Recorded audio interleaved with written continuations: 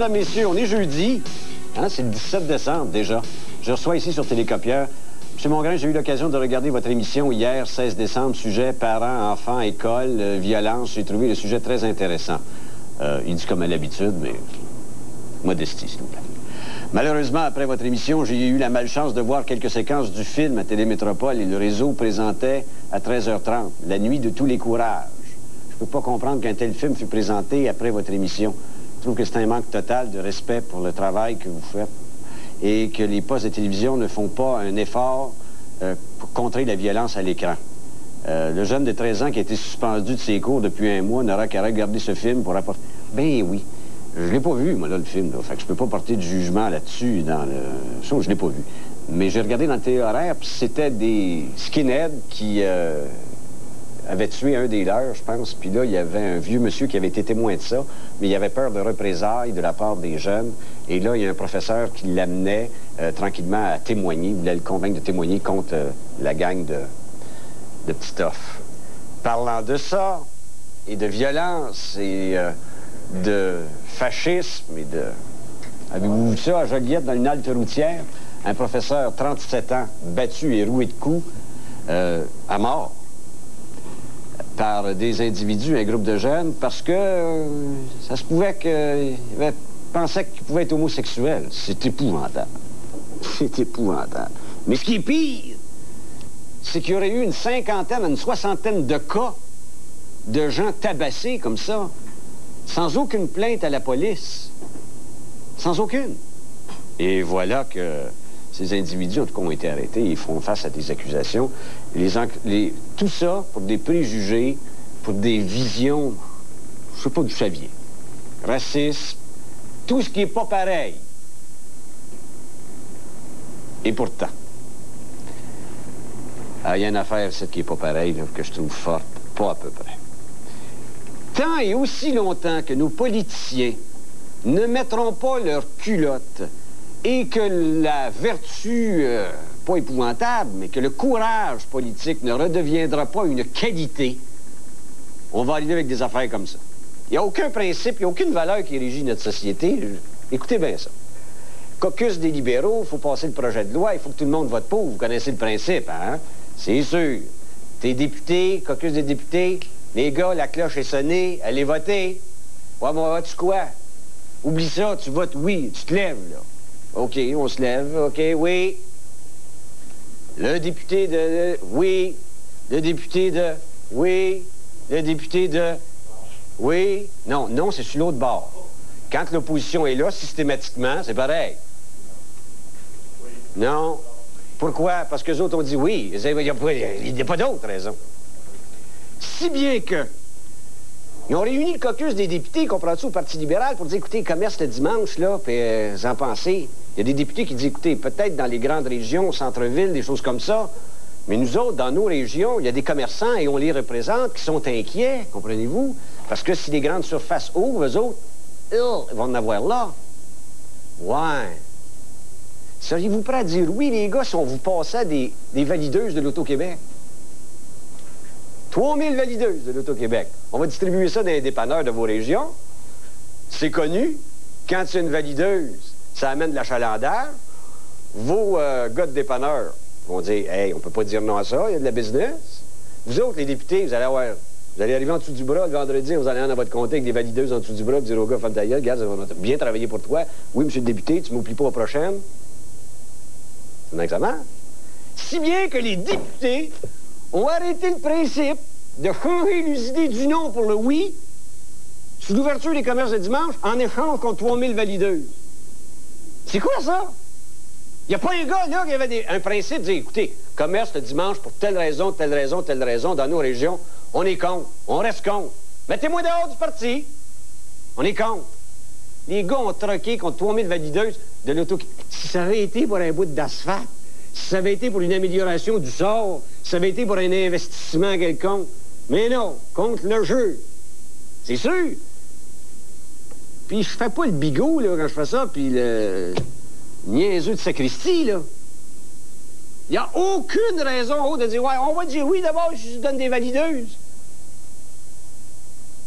Quand est-ce que le prochain député va passer à changer son idée contre trois mini-lotos? Hey, dis-vous, on va te donner trois chances de gagner à la loterie. On va t'échanger ça, monsieur le député. Vous avez pas de colonne vertébrale. Pas tout. Il n'y a aucun gars qui s'est levé là-dessus par principe ou a dit, moi, je compte, à la limite, abstiens. Je m'abstiens. Pourquoi? Je m'abstiens. Aucun. Ils ont échangé contre 3000 valideuses. Hey, bravo. Quelle profondeur de réflexion sur notre tissu, notre condition sociale. Bravo, les gars. Vous l'avez. C'était écœurant. Une opération qui durera une dizaine de mois. Puis ils se sont mis à dire oui. Quand on sait, très évidemment, que les valideuses, c'est la plus grande partie de siphonnage d'argent des revenus pour l'Auto-Québec. Le trois quarts du milliard de dollars qui se ramasse à l'Auto-Québec se ramasse par la valideuse. Pas. Casino, ouverture des commerces le dimanche, et valideuse. Tout le monde est de bonne humeur, tenté de C'est tout ce que ça prenait. Vous êtes très fort. Très, très fort. On va dire qu'il y a des gars là, des femmes qui ont des principes. Entendez-nous des valideuses, on... Pas fort, pas fort, pas fort. Hey! Bonne question. Ça devrait être même un sujet éventuellement. Croyez-vous que les Autochtones auront leur casino? Je n'ai pas dit avant nous autres, là. Croyez-vous que les Autochtones auront leur casino? Eh bien, je peux vous dire que les Autochtones vont partir dans une grande consultation publique de leurs euh, gens, de leur communauté. Ils vont faire des audiences publiques, eux. Là-dessus, ils sont en train de donner une petite leçon de démocratie. Nous autres, on n'a pas eu les casinos. Et euh, c'est un projet de 60 millions de dollars au financement, ça. Posez-moi pas la question, je ne sais pas, 60 millions. Et les autres, ils ne poussent pas la possibilité que le gouvernement du Québec puisse être un partenaire. Et la Ville de Montréal est capable de faire vivre ça dans des études qu'ils ont puis qu'ils vont faire à proximité de Montréal, à Kanawagé. Pourquoi pas? Il y en aurait pour bien plus qu'un casino. Mais le ministre de la Sécurité publique a dit, lui, Québec, Québec, Québec. Eux autres, ils disent, on va étudier, nous autres, les implications d'une décision sans aller à Québec ou pas aller à Québec. OK. Je vous annonce également une primeur. Euh, l'enquête du coroner Gilbert va reprendre dans le cas du caporal Marcel Lemay. Vous savez que ça avait eu lieu il y a quelques... Pendant quelques jours, ça avait été ajourné. Et eh bien là, ça va reprendre le mercredi 20 janvier à 10 h à la salle 5.15 du Palais de justice de Montréal, cette enquête du coroner-là. Voilà. C'est à peu près ça qui est ça. Et le ministre Ryan ne veut pas dévoiler, n'est-ce pas, euh, les retombées, euh, peut-être néfastes, en tout cas les résultats de l'étude sur les enjeux sociaux de l'implication des casinos parce que ça a été fait euh, par des policiers, puis il y a des méthodes d'intervention là-dedans et en consultation avec les policiers. Là, il va relire le dossier pour savoir s'il ne peut pas en extraire certaines choses qui sont d'ordre de sécurité publique et nous dire quels sont les enjeux sociaux. Je peux vous dire, moi, que pas longtemps après les fêtes, il y a une étude qui avait déjà été mise en place et commencée par le prof Robert Labousseur de l'Université Laval. On lui a parlé et euh, il va nous donner ça au retour des fêtes quand son étude va être rassemblée et toute faite. Bon, ben là, je vais vous échanger ça. Moi, le temps d'antenne, contre une valideuse. Hein? On va, on va... Correct? Rien là. Contre trois mini-lotos, moi, je suis prêt à céder mon temps d'antenne à la pause publicitaire. C'est ça, les principes qui nous gèrent. Et on retrouve Pierre Bruno après cela avec les informations internationales et nationales. À tous nos députés, heureux élus et dignes représentants du peuple, à tout de suite. Faites de votre vie. Qui gagnera l'une des dix croisières? Qui gagnera la Corvette, les Lincoln, les Explorer? Qui gagnera l'un des cinq lots de 1 million? Qui gagnera le gros lot de 5 millions? Et qui sera le premier millionnaire de l'année à la télévision? Célébration 93, 25 millions en lot.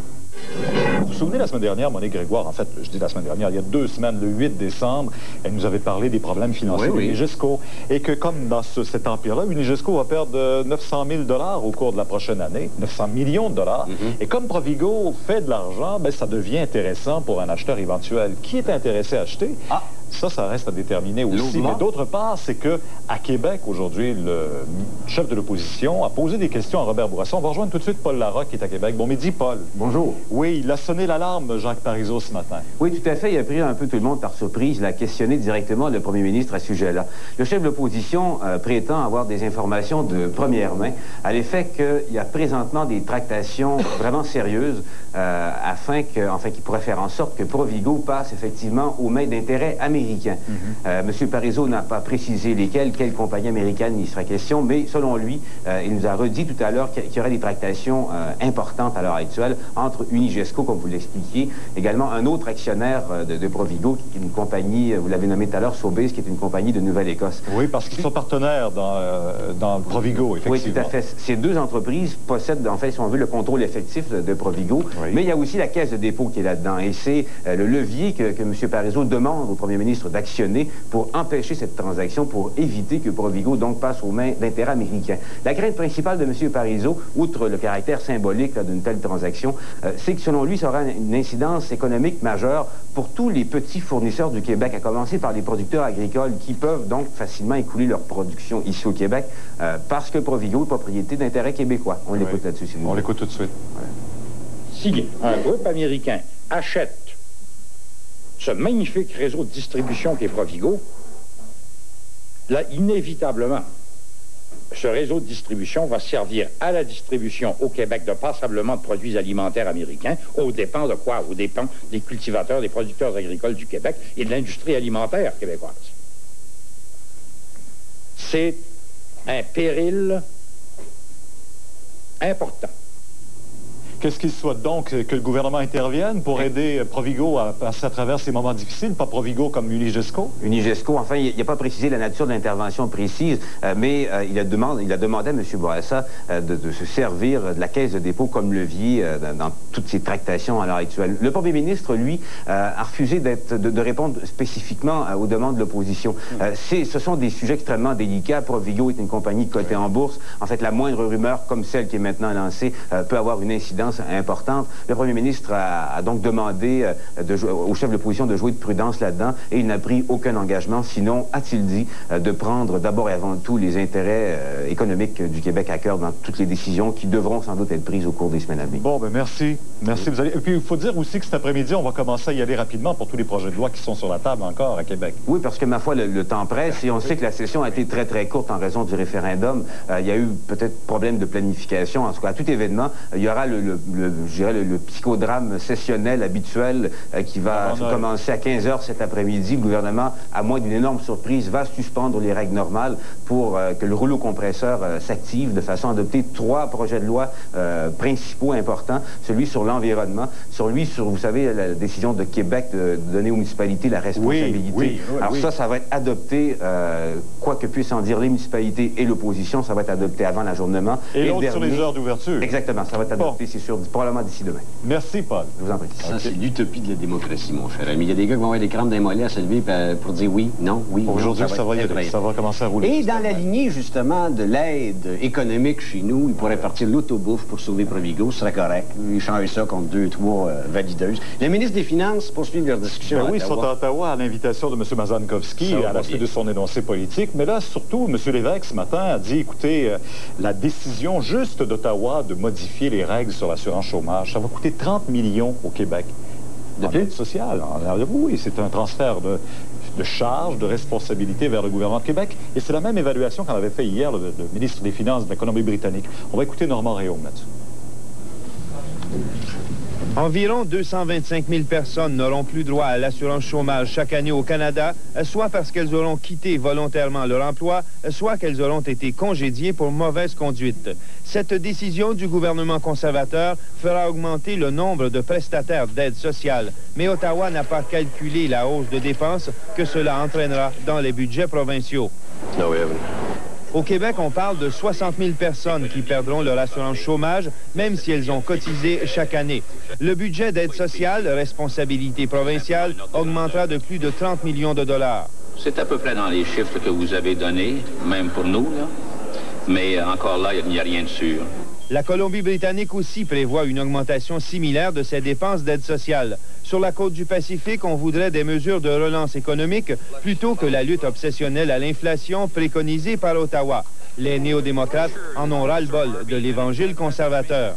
Yes, uh, we heard it again and again and again. It's the same uh, Tory agenda we've heard uh, for eight years. And nothing new. Et qu'il s'agisse de la TPS, du libre-échange ou des produits pharmaceutiques, le Québec adopte généralement les grandes décisions économiques des conservateurs. Mais dans le cas des transferts fiscaux pour la santé et l'éducation post-secondaire, même si Ottawa nie avoir fait des coupures, Québec en déplore l'évidence. Toutes les coupures qui se sont multipliées depuis 1982-83, à ce moment-là, ça a fait mal. Et nous le savons. Mais malgré leurs divergences, les ministres des Finances sont tout de même soucieux de donner une image de collaboration plutôt que de confrontation. Question d'apaiser les marchés financiers qui établissent la cote de crédit des gouvernements. Sur quel point, Normand, on s'entend justement les ministres qui poursuivent leur discussion? Euh, sur le fait de parler. Alors, on discute. Mais euh, sur des mesures concrètes, euh, je vous fais remarquer que le fédéral n'a pas consulté les provinces avant l'énoncé économique du 2 décembre, mais après. Donc, euh, les conservateurs à Ottawa tentent tentent d'entraîner dans leur sillage les provinces, c'est-à-dire luttons contre l'inflation, essayons de circonscrire les déficits, même si ceux-là continuent de grandir, et faisons en sorte de couper plutôt que d'augmenter les taxes dans les prochains budgets du printemps. D'ores et déjà, on sait que le Québec semble accepter euh, cette direction-là, mais les trois provinces qui sont dirigées par des gouvernements néo-démocrates, au contraire, elles vont prôner une intervention de l'État de telle sorte à relancer l'économie et à ne pas se fier seulement au secteur privé. Bon, on a signé ce matin, M. Mulroney a signé, comme va le faire M. Bush puis M. le président mexicain aussi, le traité de libre-échange nord-américain. Oui, je vous fais remarquer qu'en campagne référendaire, vous vous souvenez, à San Antonio, au Texas, il y avait eu euh, un, paraphe du dit document. Maintenant, euh, c'est peut-être la troisième signature. Cette fois-ci, c'est le texte euh, définitif, officiel qu'on signe. Cependant, ce n'est pas coulé dans le ciment parce que le traité en question doit être accepté par chacune des assemblées législatives des trois pays concernés. Et ça, ça pourrait se faire dans les six ou sept prochains mois, à moins qu'il y ait opposition. Mais au Canada, et euh, dans le cas des États-Unis, il y a M. Clinton qui a émis un certain nombre de réserves. Alors, s'agira-t-il de renégocier au début euh, du mandat du nouveau président des États-Unis, ça commence le 20 janvier, ou ferons-nous des, des, modifications unilatérales au niveau de chaque pays? Ça reste à voir. Il y a un autre traité aussi qui, dans lequel on doit faire beaucoup de compromis, c'est celui du GATT.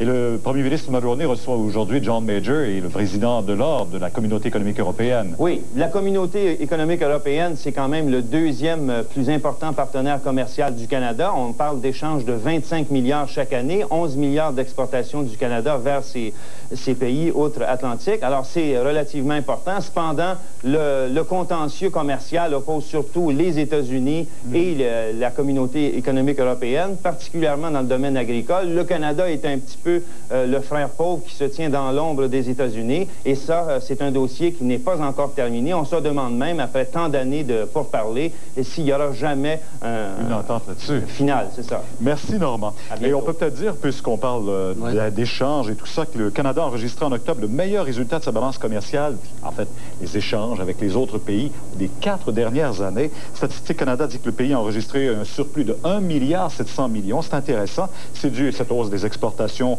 euh, au fait que les Canadiens ont acheté beaucoup moins à l'étranger, par exemple. Les notes de l'art qui étaient faibles aussi, si bien qu'il y a eu plus d'exportations. Je veux revenir sur l'insatisfaction des ministres des Finances pour bien comprendre. Oui. Si les ministres des Finances ne sont pas heureux, c'est parce qu'ils voient Ottawa de plus en plus couper dans les programmes ou les domper dans le cours des provinces. Qu'est-ce que font les provinces? Ils dompent ça au niveau des municipalités ah après. Chacun, bon, évidemment. Et pourtant, ça ne nous coûte pas moins cher de taxes. Vous avez parfaitement ah, raison. C'est dans poche. C'est toujours à la même place qu'on prend cet argent-là. Euh, les autres baisses, une troisième baisse cette semaine du taux préférentiel des banques. En début de semaine, c'était à 8,3 quarts ça passé à 8,5, 8 quarts. Et ce matin, la Banque de Montréal annonce une diminution à 8% donc, encore une baisse de un quart de point. C'est encourageant. General Motors, euh, on espère beaucoup sur le nouveau modèle Camaro Firebird. Oui, on a présenté hier ce nouveau modèle qui devrait hein? percer, en tout cas, on l'espère, qui va percer les marchés européens, marchés japonais, parce que c'est une fois que ces marchés-là vont être euh, conquis, Mhm. On va réussir finalement à rappeler 1200 autres travailleurs à GM de Boisbriand, où il y en a déjà 1500 qui travaillent à, l'assemblage de ces nouveaux modèles-là. Des nouveaux modèles qui vont se vendre entre 16 et 25 000 dit-on, donc euh, nettement compétitifs sur le marché euh, mhm. des voitures sport, parce que vous savez que c'est le nerf de la guerre, les voitures sport, présentement, au niveau de la, ben des automobiles. Vous avez l'air d'être passionné par ces voitures. Là. Ben, moi, j'aime pas beaucoup ça, mais je dois dire qu'elle est belle et elle peut facilement rentrer en compétition avec la style de ah, Chrysler ou encore les Japonaises. Effectivement, c'est ce qu'on espère vraiment. Et vous savez qu'en Ontario, ça va moins bien, parce que chez General Motors, en Ontario, il y a 800 travailleurs de Oshawa hier qui ont été renvoyés à la maison parce qu'il y a eu des actes de sabotage, si bien qu'il y a, semble-t-il, du sucre et du sel qui auraient été mêlés à la peinture, si bien qu'il y aurait une quarantaine de véhicules qui ont été peints avec une un peu de grumeaux. Alors, euh, on les a retournés à la maison. Vous savez qu'on n'est pas très satisfait à nos monteuses, des employés là-bas. ce plan-là. À Oshawa particulièrement, parce que Sainte Catharines aussi, il y aura des mises à pied importantes l'an prochain. Molson se prépare à faire face à la concurrence américaine, l'entrée de la bière américaine ici. Ils n'ont pas le choix, eux non plus. Et véritablement, s'ils veulent être compétitifs euh, sur ce marché-là, ils doivent améliorer leur chaîne de montage, euh, leur chaîne d'embouteillage. Et ce qu'on va faire, c'est investissement de 15 millions de dollars à l'usine de l'Est de Montréal sur la rue Notre-Dame. Peut-être coupure de personnel aussi. Hein? Bien, inévitablement, quand Le moins euh, possible, on y va, ben oui, mais, c'est sûr, quand on y va avec une... Ben, c'est la même chose chez General Motors. On a beau mettre les plus belles chaînes maintenant, on a coupé 700 euh, emplois quand même. La presse coupe? La presse coupe, 800 000 Mais en fait, on dit que ce ne sera pas au niveau des journalistes ah. qu'on va faire des, coupures. Euh, cependant, on va abolir certaines chroniques, semble-t-il, dans le journal. Réduire le cahier aussi. Aucune mise à pied à la rédaction mon Jean-Luc. Ah, faites-vous-en pas, faites-vous-en pas, faites-vous-en pas. J'avais quelques noms. Hein. Oui, oui, je sais. Investir, pourquoi pas, dans les municipalités? Ben oui, vous savez, on parlait tantôt, tout le monde se demande comment est-ce que les municipalités vont faire avec la réforme Ryan, notamment. Comment on va faire? Euh, on parlait de, des routes. L'entretien des routes, c'est maintenant les municipalités qui vont avoir ça. Ben le maire de Capro, j'ai l'idée, lui, que évidemment, plein de gens mettent de l'argent dans des abris fiscaux. Hmm. Pourquoi on il n'y aurait pas une obligation municipalité? Avec abri fiscal. Avec on peut acheter des obligations. Exactement, oui, oui, mais avec abri fiscal. Ah La ville de Cap-Rouge a décidé de ne pas baisser les bras devant la réforme du ministre Claude Ryan. Elle propose une nouvelle source de revenus pour les municipalités, des obligations municipales. En 91, les contribuables québécois ont investi 5 milliards de dollars en abris fiscaux. Pourquoi ne pas investir aussi dans les projets municipaux? Les intérêts des obligations dont parle le maire Chatigny ne seraient pas imposables. Les municipalités pourraient donc offrir des taux d'intérêt moindres et ainsi réduire leur coût d'emprunt. On voit très bien les obligations municipales de Cap-Rouge ou de d'autres municipalités être vendues sur le territoire de la municipalité en question, mais comportant un abri fiscal ou un allègement fiscal. Le maire Chatigny va donc plus loin. Il rêve d'obligations municipales dont les acheteurs recevraient un crédit d'impôt. Une formule semblable donc à celle des REER. Ça crée un sentiment d'appartenance, d'après moi. Les, les citoyens peuvent investir dans leur municipalité, tant mieux. D'autres maires qui étaient présents en matinée ont approuvé cette initiative. Toutes les municipalités en profiteraient, à condition bien sûr que les autorités gouvernementales acceptent de modifier la loi fiscale. La solution que propose Cap-Rouge n'est pas nouvelle en soi, puisque chez nos voisins américains, il existe déjà des lois qui permettent aux municipalités d'émettre de telles obligations. On espère obtenir bientôt l'appui de l'Union des municipalités du Québec, mais aussi une réponse favorable des deux gouvernements. Lise Guérin, TVA, à Cap-Rouge. Solidarité des euh, gens de Saint-Clément, ce petit village dans le Bas-Saint-Laurent où, vous savez, on menace de fermer le bureau de poste. Ça fait maintenant 13 jours qu'on occupe l'endroit. Hier, il y a eu 150 personnes qui sont allées manifester. Et euh, on va écouter Richard Simon, si vous voulez, le porte-parole des manifestants pour qui c'est important cette survie. Je dirais que c'est le désespoir. C'est pas la détermination, c'est le désespoir. Parce que si ce bureau-là ferme, tout ferme. Vous voyez l'église en arrière de vous, l'école est juste là.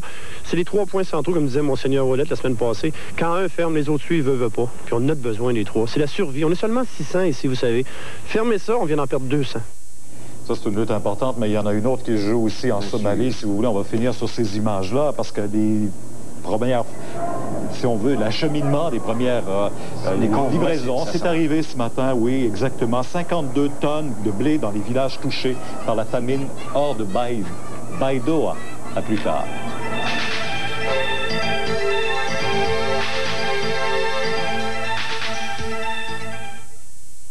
Le leader. À l'achat d'un modèle 93, obtenez une remise de 1000 dollars en argent ou un taux de crédit du fabricant. À l'occasion des fêtes, Poulet Free Kentucky vous offre son festin pour 4 personnes. 10 morceaux de poulet croustillant ou recette originale, servis avec frites et sauce. Comme dessert, vous recevrez une boîte de 6 délicieux chocolats Turtles. Le tout, seulement 15,59 soit 3,90 par personne. Poulet Free Kentucky vous souhaite de joyeuses fêtes.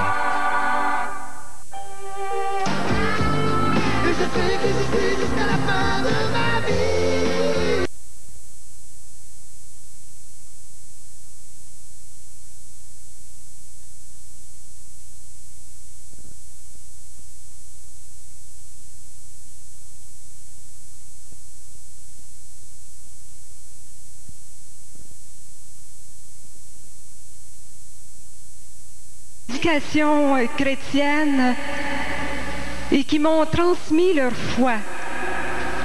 Que j'ai